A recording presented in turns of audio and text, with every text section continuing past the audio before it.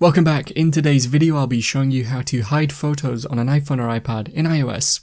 Remember to leave a like and feel free to subscribe if the video helps. Let's get into the method.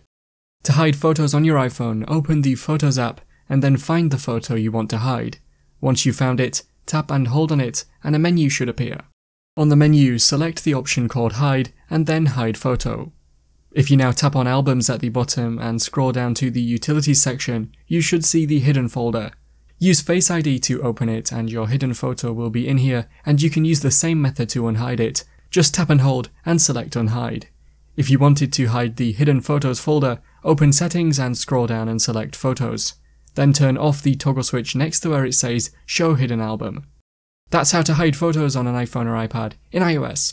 Click the card on screen now to watch a video of mine showing you 10 easy ways to speed up your iPhone or iPad. If you have any questions, then let me know in the comments below and if you did find today's video helpful, remember to leave a like and feel free to subscribe for more tips in the future.